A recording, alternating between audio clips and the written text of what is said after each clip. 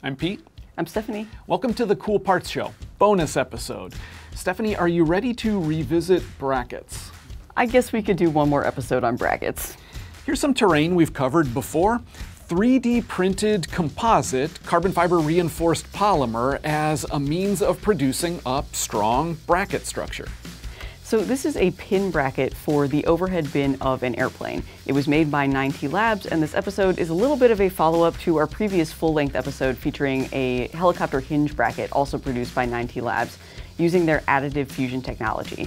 So basically, they are combining 3D printed continuous carbon fiber preforms with polymer or polymer composite, bringing everything together with a compression step.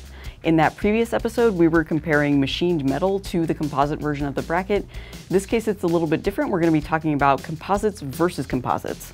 The 9T Labs process, it relies on 3D printing. It also includes a compression molding step, and you can see that in this form. There are some parting lines here from the The primary role of 3D printing in this process is to get the carbon fiber reinforcement in the right place within the part get the, the, the strength in the right place, in the right location and orientation, which is an important value of composites.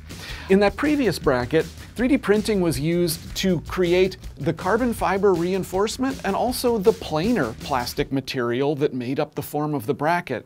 This bracket uses 3D printing only for that continuous fiber reinforcement. So in one sense, it's using 3D printing more minimally, but in another sense, it's concentrating 3D printing on just the most important part of the bracket form. So this piece is the reinforcement for the base of the bracket. So you can see it sort of loops around the, the holes there, providing some extra strength in the corners. And then this other piece is actually 3D printed as one, and then it gets cut in half each half uh, then reinforces one of the ears for this bracket. So the process for manufacturing this part is these pieces get 3D printed on the 9T Labs Build 3D printer.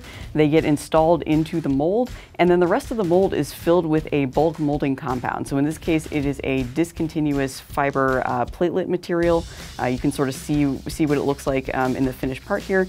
Everything gets compression molded together, so this is a 3D printed bracket, even though 3D printing is just for this continuous carbon fiber PEKK material. The rest of the bracket form is filled with chopped fiber platelet, uh, and then during the compression molding step, this part in the base fuses against this reinforcement to make the complete bracket.